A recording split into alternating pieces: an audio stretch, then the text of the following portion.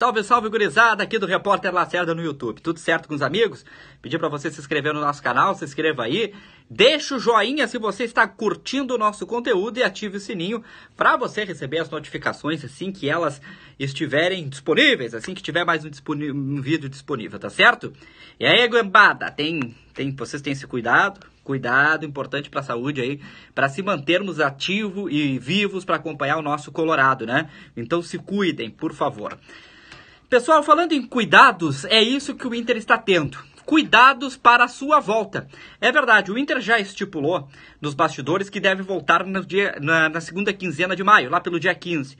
Para isso, o Inter passou as duas últimas semanas em contato com a CBF e com a Federação Gaúcha de Futebol, para saber como que vai ser essa transição, como que vai ser essa volta.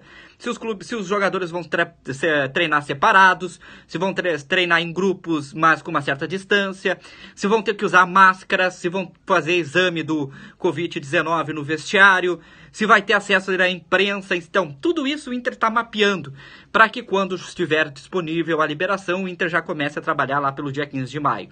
A sua volta oficial ocorre na próxima segunda-feira, no dia 4. Seria no dia 1 mas dia 1 é feriado, então é no dia 4.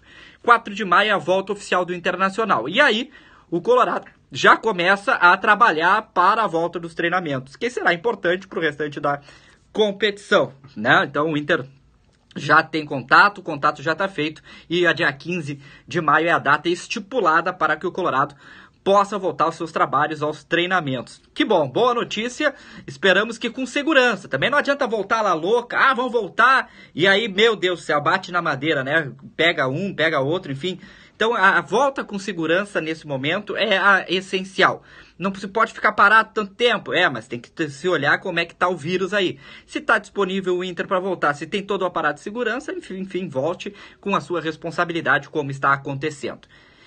Tem um outro assunto, pessoal, que tem, envolve economia, que é a TV Globo. A TV, a TV, Globo enviou aos clubes participantes da Série A e Série B uma carta no final do, do domingo dizendo que seria necessário reduzir o direito, o dinheiro de direitos de transmissão do Campeonato Brasileiro e da Copa do Brasil.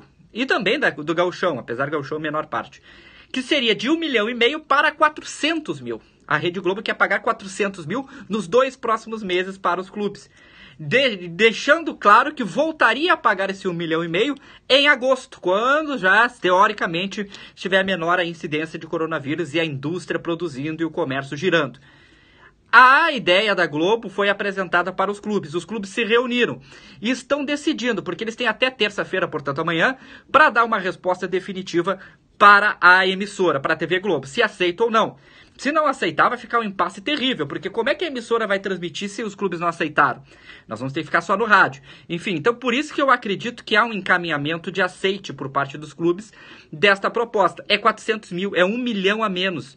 Mas é fato o que, o que de fato está ocorrendo, o que de fato está a, a, ocasionando esse mercado de futebol essa perda de receita. Nós temos clubes aí, como São Caetano, que está quase decretando falência.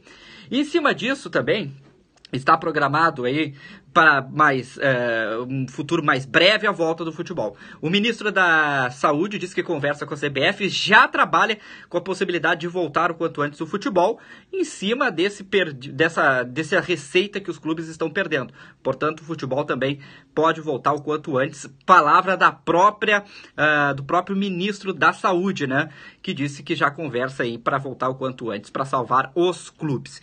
Último detalhe é o Rômulo, jogador volante que atua na Itália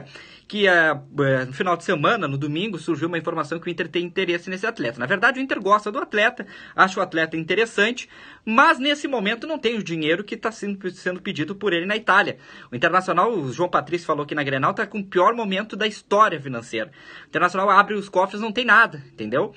Então o Internacional vai esperar a movimentação do mercado, vai esperar vai ver se vai vender alguém, por exemplo, o Bruno Fux, ou se vai o jogador ficar livre no mercado. Aí, se o jogador ficar livre no mercado, ele vem apenas pelo salário e vindo pelo salário o Inter poderia fazer. Mas isso é só no final do ano, não é nada para agora. Então agora esqueçam contratações. E sim, vamos rezar para que o Inter saia dessa com uma saúde financeira interessante. Tá certo, gurizada?